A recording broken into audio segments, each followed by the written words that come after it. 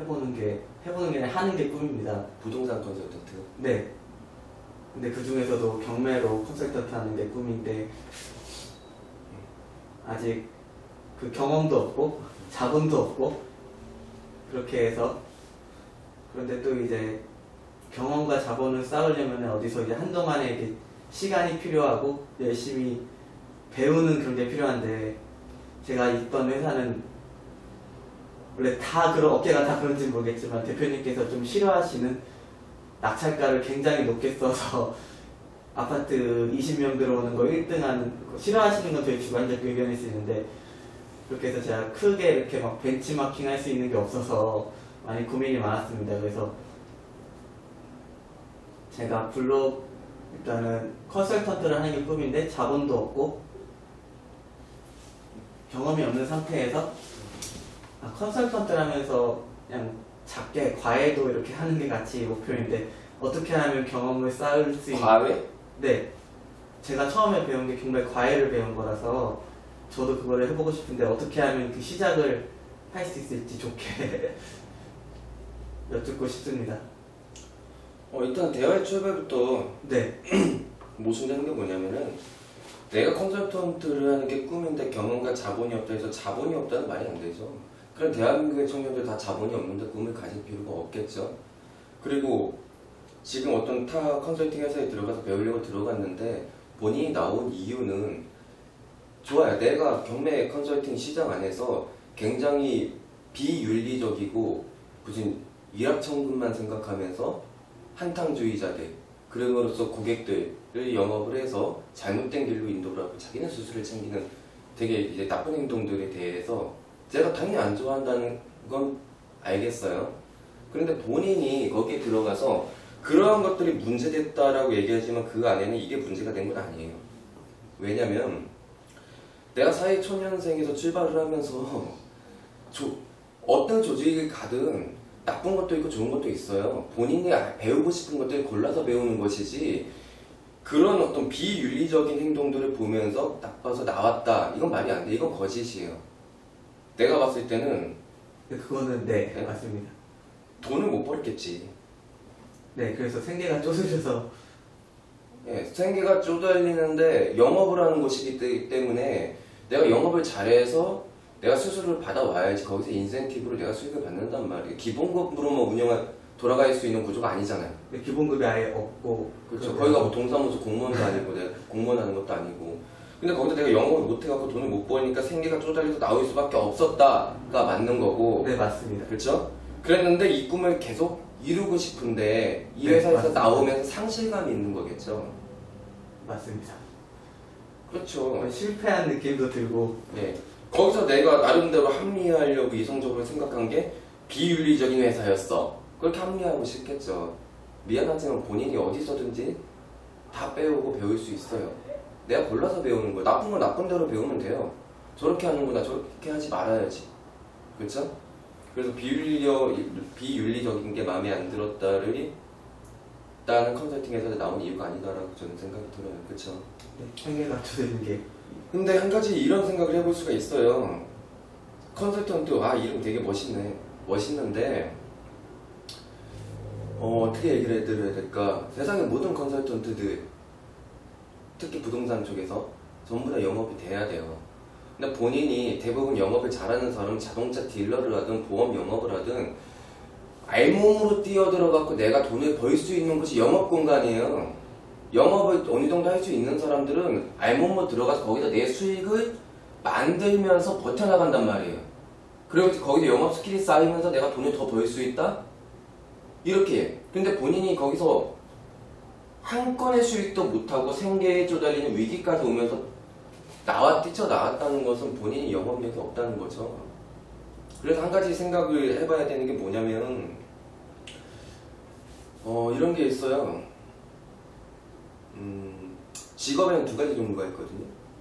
내가 진짜 좋은 걸 하고 싶은 거. 그리고 내가 진짜 좋은 걸 하고 싶은 거. 그리고 내가 밥그릇을 채우기 위한 직업. 내가 진짜 좋은 거를 하고 싶을 때는 내 가치와 내 철학이 들어가 있고 내가 살아있단 말이에요. 근데 내가 싫은 걸, 근데 내가 생계를 하기 위한 직업에는 영혼이 없어. 그러니까 쉬는 날이 오면 굉장히 좋겠지. 사장의 소리, 상사의 말들이 너무 거슬리고 그게 내 회사를 다니는 데 있어서 최대로 불편한 것들로 다가오는 거예요. 왜? 나는 돈 벌기 위해서만 다니는 거니까. 무슨 말인지 알죠? 제가 요즘 느끼는 거. 근데 다람쥐나 토끼도 지 먹을 거는 지가 챙겨요. 최소한 다람쥐나 토끼 짐승들도 지 밥 먹고 살 거는 지가 책임을 지면서 하고 싶은 걸 한다고. 그러니까 본인이 잘 생각해야 되는 게 내가 하고 싶은 거를 하는데 내가 영업력이 없어서 못 따라간다. 근데 무조건 하고 싶은데 그거를 그 미련을 가지고 어떻게 해야 되지 어떻게 해야 되지 하면서 가만히 있는 거는 그런 걸 보고 병신이에요 병신. 본인의 생계는 어디 가서도 책임지면서 이게 좋으면 이걸 하세요. 본인이 영업력이 없으면 다른 쪽에서 내가 돈을 벌면서 내 생계는 책임지면서 이걸 할 수 있는 것들로 조금 조금씩 해 나가는 거예요. 무슨 말인지 이해가 돼요? 알겠습니다. 무슨 말인지 이해가 돼요? 네. 생각해 볼 수 있겠지. 이렇게 돼 볼 수 있다. 내가 직장에 들어가서 열심히 일을 하면서 동영상 강의, 경매 관련된 동영상 강의 보고 모은 돈을 갖다가 아직 결혼 안 했죠. 네. 소액 투자를 시작하는 거예요. 내가 자산 하나 갖고 있죠. 임대 수익이 들어와. 그리고 내가 공부 열심히 해갖고 이건 나중에 임대 수익도 들어오는데 나중에 팔았을 때 돈도 벌어. 자본 수익도 들어오는 거예요. 그럼 이런 것들 갖고 있는 동안 꼬박꼬박 들어오는 수익으로 내가 생계가 책임져지잖아요. 그러면은 그때 내가 이 좋아하는 거에 빠져들어 살 수가 있잖아요. 무슨 말인지 이해가 되죠? 네. 인간이면 최소한 이렇게 가야 되죠. 어떤 사람은 지가 좋아하는 건데 여기서 돈이 안 벌리는데도 막 버티고 버티고 막 그런 사람들이 있어요. 그러다 또 백수하고 있다 나와갖고 다른 건 하기 싫은 거야. 내가 좋은 건 하고 싶고 엄마 아빠 밑에서 맨날 예? 밥이나 죽 나이가 다 처먹어갖고 엄마 아빠 아, 엄마 아빠 밑에서 밥이나 죽 찌고 있고 용돈 받으면서 5년째 6년째 백수하는 사람들도 있어요. 막 하버드 대학교 나왔는데도 그런 걸 보고 빙신이라고 하는 거야. 지 생계는 지가 책임져야지. 그러니까 본인이 나왔으면은 잘 판단을 해요. 내가 봤을 때 영업력이 없어요. 못 버티고 나왔잖아요. 수익을 못 올렸다는 거잖아요. 그쵸? 그렇죠. 그 내가 좋아하는 거 아니라 생계를 못 이뤘다는 거죠. 생계를 못 책임졌다는 거죠. 그럼 빨리 생계를 책임질 수 있는 걸 먼저 하세요. 그러면서 생각을 해요. 그러면서 내가 어느 정도 생계를 책임질 수 있는 게 조금씩 커진단 말이에요. 수익이. 그쵸? 생활비가. 그러면은 이 일, 컨설팅 일도 같이 하는 거야. 그러다 이, 이쪽에서 내가 조금 실력이 되고 수익이 되기 시작하면은 옮겨 타는 거죠. 옮겨 탈 수도 있겠죠. 잠깐만. 그렇게 한번 고민을 해볼 필요가 있을 것 같아요. 어떻게 생각해요? 방향을 어떻게 잡을지 정했습니다. 응? 벌써? 어떻게, 어떻게 해요? 일단은 제가 현재 거기서 못한 게 일단 좀 돈이 조금 들어가요. 한 달에 한 70, 80 고정으로. 찜질방도 3일에 한 번, 이틀에 한 번 가야 되지. 방값도 내야 되지. 월 생활비가 80 정도? 네. 네. 오케이. 그러다 보니까 그거를 그 저도 그 8군에서 친구가 하나 있었는데 그 친구도 한 달째 그게 없는데도 열심히 하더라고요 블로그든 뭐든 근데 저는 너무 제가 워낙 지금 거기서 나의 무일푼으로 없을 때 들어가서 그 컨설팅 회사 들어갈 때 무일푼으로. 네, 네 없을 때 들어가니까 저는 버티질 못하겠는 거야 아예 그러다 보니까 제가 이렇게 나오게 됐으니까 다시 알아보고 오후에 좀 빡세겠지만 다시 지금 배달 알바를 어제도 했거든요. 그래서 오후에 잡는 쪽으로 해서 그걸로 생활비를 해야 되지 않을까. 그래, 그렇게라도 해야지. 그런 거야. 그러니까 내 생계를 책임질 수 있는 수단을 다른 데 만들어 놓고 그쪽에 관심을 계속 두는 것. 그런 건 아름다워요. 네. 그런데 이제 그거 아니면 못해하고 나와서 상실감에 가만히 있는 거는 바보스러운. 그리고 어떻게 해서든 생계를 책임질 수 있는 구멍을 먼저 만들고 그 다음에 내가 좋아하는 거 하라. 내가 좋아하는 것과 잘하는 건 틀릴 수가 있어요. 본인이 경매, 경매 컨설턴트가 되고 싶다? 좋아하는 거겠죠. 네? 내가 잘할 수 없다라는 건 지금 들어가서 봤네요. 깨달았네요. 그쵸? 그럼 좋아하는 거란 말이에요. 그쵸? 그래서 좋아하는 거와 잘할 수 있는 거는 틀리다는 거예요. 그리고 좋아하는 거 하려면 먼저 거기서 잘하지 못했기 때문에 생계를 책임질 수 있는 걸 먼저 하세요. 그리고 조금씩 내 생계가 책임져지고 내가 이 좋아하는 걸 하면서도 내가 결혼해서도 마찬가지야. 내 가정을 유지시켜 나갈 수 있고 아이를 키울 수 있고 내가 부모님한테 맨날 다리 주물러 주는 거면 효도가 아니라 경제적으로 약자가 됐을 때 경제적인 내가 어느 정도 기성세대로서 부모를 부양할 수 있어야 되잖아요. 그 정도 능력이 그렇죠. 있어야 되죠. 그런 거 해놓고 내가 좋아하는 거에 고집을 부려야 된다는 거 그런 뿌리를 잘 잡고 가면은 될 것 같아요. 그래서 그런 게 현실 감각이에요. 그게 현실 감각. 그래서 이런 바보가 안 되길 바래요. 아까 그랬잖아요. 알몸으로 뛰어 들어갔다고 컨설팅 회사에 네. 영업하는 공간이죠. 그들 네. 컨설턴트도 영업하는 사람들이에요. 영업하는 공간들은 원래 알몸으로 뛰어드는 사람들이 더 성공한다. 벼랑 끝에 있거든요. 미친 듯이 열심히 해. 거기에 이제 내가 영업에 재능이 있으면 돈을 많이 버는 거야.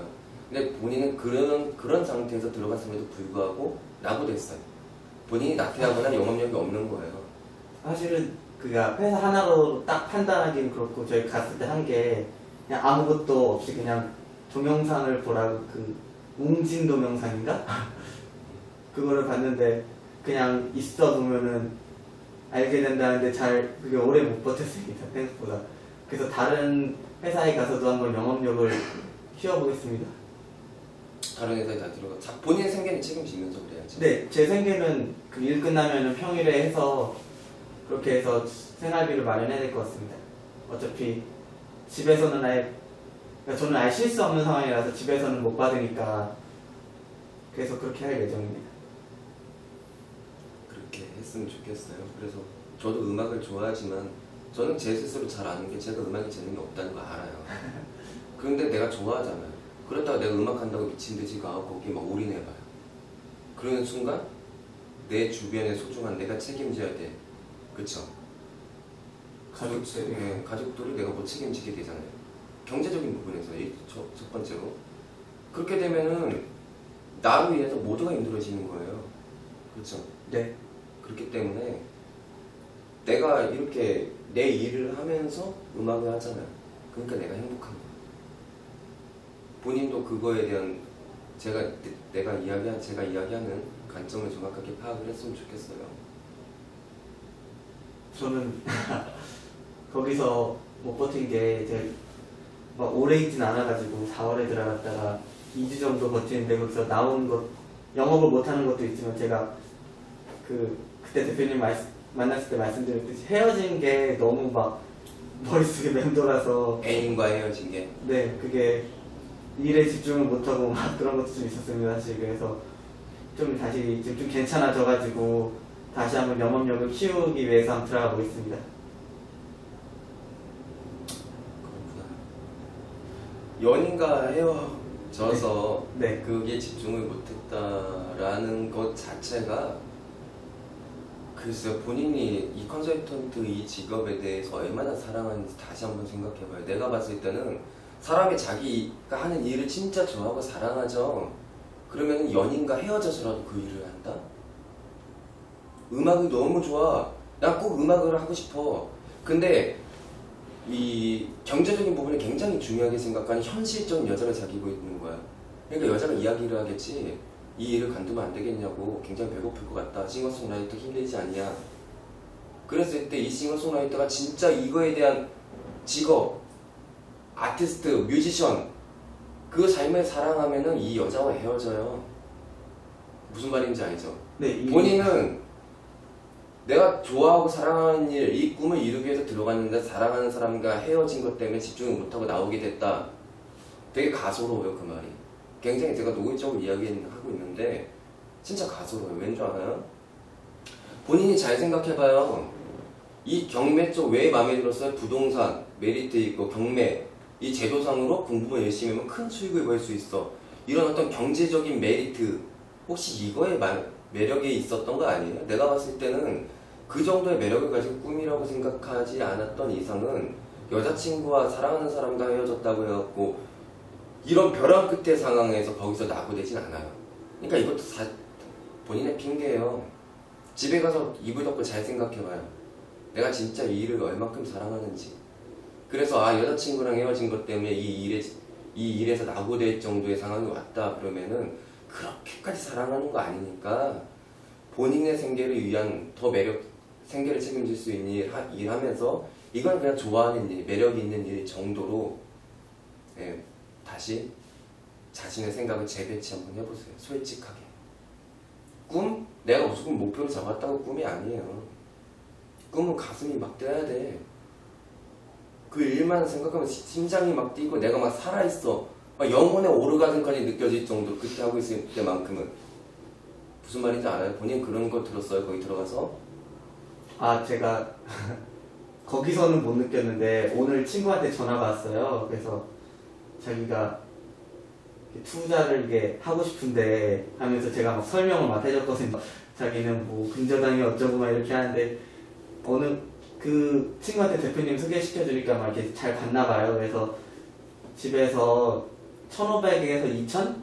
정확히 친구는 1,500이라고 1,500을 이렇게 융자를 할 수 있을 것 같은데 대표님의 그거를 들어가야 되냐 아니면은 그 대표님한테 월 몇 개 받는 거 있잖아요. 월 두 건인가 세 건씩 추천받는 거. 예, 우리 옥션 서비스 상품에 대해서 가입을 하고 싶어 한다 뭐 이런 말이에요. 근데 그거를 할지 아니면은 어 그냥 제가 이렇게 말해줘서 일반 물건을 사서 월세 줘서 이렇게 시작하는 게 자본이득과 그거를 할지 제가 상담을 해줬거든요 친구한테 친구가 궁금해가지고 해서 제가 그때 막 가슴이 뛰면서 막 살아있는 걸 느끼는 거예요 요새는 막 계속 배달만 하니까 돈 벌려고 본인이 여기서 제가 계속 말씀을 드리는 게 젊고 청년이니까 말을 하는 거예요. 왜 영업력이 없는지 이제 알것 같아요. 지금 대화에서 본인의 삶에 대해서 이 경매 컨설턴트가 하고 싶은데 이렇게 나오게 돼서 상실감이 있고 여기서 어떻게 해야 될지 모르겠다. 그런데 내가 제가 질문했죠. 본인이 심장이 뛰냐고.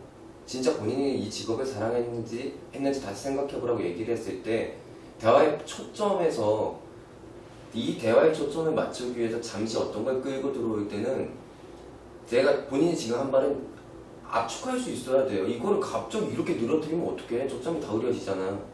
영업을 할 때도 마찬가지예요. 나 같으면 어떻게 얘기를 했는지 알아요? 난 무슨 얘기 할 줄 알겠어요, 그냥. 어, 제가 심장이 회사에서 못 느꼈는데 제가 심장이 뛰는 이유가 있- 뛰는 걸 느꼈습니다. 뭐냐면은 제가 친구한테 우육성 상품 중에 이런 이런 조- 어떤 조건이 있는데 이거를 가입할까 말까 이렇게 이성적으로 막 판단을 하고 있을 때 내가 부동산 경매라는 이제 어떤 관심 있는 걸 두고 친구한테 막 상담을 해주는데 갑자기 제가 뛰기 시작했던 거예요. 그러면서 대화가 시작됐어야 되는데 갑자기 막 근저당이 나오고 막 이렇게 풀어 대화가 아, 막 이상해지잖아. 맹설수설이 되잖아. 알겠습니다 내가 고객이었죠. 갑자기 집중하고 있다 멍 때리기 시작해요. 그럼 다시 본인이 초점으로 원래 초점을 갖고 왔을 때 이 사람도 다시 집중을 해야 되잖아요. 다시 데리고 와야 되잖아. 네 이거 뭐야? 이게 되게 힘든 거야 이게. 보통 고객 같으면 그 사이에 어? 나 어디 가야 되는데 늦었다. 아, 빨리 대화 정리하고 다음에 얘기 더 해요. 이렇게 깨져버리는 거야 고객도. 이탈. 이 영업력의 부재, 본인이 영업력이 부족하다는 게 여기서 느껴져요. 현재 대화에서 또 느껴져요. 그래서 그걸 알았으면 좋겠고 그런 부분에서 설명을 하면서 어떤 컨설팅과 비슷한 어떤 대화를 내가 그 사람한테 하면서 갑자기 이 뭔가 심장이 뛰는 걸 느꼈다는 거죠. 오 너무 좋다. 네, 맞습니다 사람이요. 내가 사람은 원래 자기 얘기를 하는 걸 좋아하고 자기가 잘할 수 있는 거에 대해서 얘기를 하면서 상대방이 받아들이고 내 집중해주고 이런 거 원래 좋아해요. 무슨 말인지 알아요? 네 어떤 본인이 의미인지. 그때 이야기를 해줬을 때 내가 좀 알고 있는 것 같다가 막 이렇게 설명해주고 친구한테 설명해주고 이렇게 하고 있을 때는 지금 이 경매 관련된 일이 아니었어도 좋았을 거라고 다른 주제였어도 무슨 말인지 이해되세요? 네 술자리에서 술 먹으면서 경매 관련된 이야기 말고 다른 어떤 컨설팅 대화 속에서 사소하게 나올 수 있는. 이런 데서도 내가 상대방한테 얘기를 잘해주고 상대방이 귀를 기울이고 내 말에 인정을 하는 것 같잖아요. 경매 이 이야기를 떠나서 다 좋아요. 얘기를 하는 사람은 혹시 그런 건 아니었는지 다, 다시 생각해봐요. 원래 그런 거 멋있어. 원래 멋있다고 그냥 단순히 그런 감정 정도였는데 어? 내가 심장이 뛴다 또 이러는 건 아닌지 착각을 하는 건 아닌지 괜히 또 그런 쪽으로 또 끼워 맞추려고 또 갖고 오는 건 아닌지 그걸 잘 생각을 해봐야 돼요. 물론 그런 거에 대해서 진짜 재능이 있는 사람은 말을 되게 잘해요. 영업력이 있는 사람은 말을 잘한다. 방금 영업력이 없다고 그랬죠. 네, 예. 본인은 그쪽으로 재능이 있는 사람은 아니에요. 키우겠습니다. 왜? 잘하고 싶습니다. 왜? 일을 제가 하고 지금 배운 게 이거고 지- 이걸 하면은 장기적으로 할 수 있을 거예요. 쌓이는 일을 하고 싶어가지고 그래요. 본인은 그거였던 거예요. 경매 컨설턴트의 처음에 목적도. 경제적인 어떤 메리트, 유혹, 재미 그렇게 들어가면서 또 쌓일 것 같은 이성적인 막 그런 조건들 막 붙이고 있잖아. 그러니까 본인한테 그런 거였던 거예요. 그래서 사랑하는 연인이랑 헤어졌던 거에 못 버티고 나온 거지. 계속 본인의 위치를 알아가는 거예요. 제가 이야기를 하면서. 어쨌든 잘하고 싶다라고 얘기를 했잖아요. 제가 이게 촉 치려고 얘기하는 건 아니고 네, 일단은 당장 지금 들어가면 영업을 해야 되잖아요. 네, 근데 영업력이 없어서 나왔잖아. 어떤 네. 이유에서든 어떤 일단은 생계를 책임질 수 있는 일 먼저 하- 해라. 네. 그리고 그 다음에 이 일을 좀 생각해봤으면 좋겠어요. 본인 결혼도 하고 아이도 낳고 해야 되잖아. 네, 벼랑 끝에서도 그냥 떨궈져 나왔고 그쵸? 영업력의 부재로 또는 사랑하는 여자친구 때문에 집중력을 못해서 영업력이 안 나왔든 어쨌든 나왔으니까 다시 도전하겠습니다. 다른 일 하면서 생계 일단 책임지고 자신의 생계는 생계는 어차피 책임져 줄 사람이 없어서 제가 알아서 해야 됩니다. 그래도 나온 지 지금 10월, 아, 11월 20일 날 나왔는데 집에서 딱 6만 원 받았습니다. 핸드폰비 엄마가 한 달 생일이라고 내주고.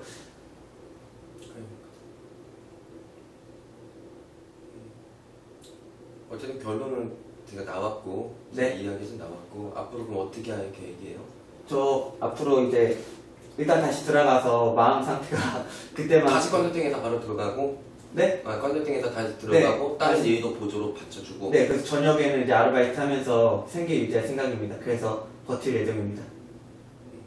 그렇게 일을 하다 보면은 몸은 굉장히 고될 거예요. 굉장히 고될 건데 그 여러 많은 생각들을 하게 되고 이렇게도 해보고 저렇게도 해보고 이렇게 하는 과정에서 본인만의 답이 계속 나오기 시작할 거예요. 그러면 그렇게 해나가면 돼요.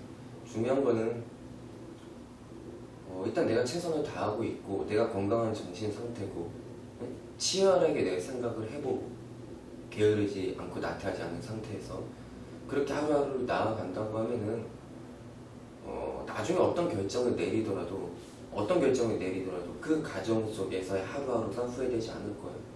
난 뜨거웠고 열심히 했고 치열하게 생각했고 내, 내 자신을 굉장히 소중하게 다뤘던 거예요. 무슨 말인지 알죠? 네. 그 뒤에 어떤 결정이 오든 본인은 후회하지 않는 시기를 보낸 것이고 누구보다 치열했던 것이고 그렇게 자기 삶을 낭비하지 않았으면 좋겠어요. 그래서 어떤 일을 일단 하면서 이렇게 많은 고민을 해봤으면 좋겠다. 지금 당장 완전한 막 깨달음 막 이런 걸 바라지도 말아요. 저도 없어요 그런 건. 그래서 그냥 하나의 선배로서의 하나 좋은 정도로 생각을 해 주셨으면 좋겠고 화이팅 했으면 좋겠습니다. 알겠습니다.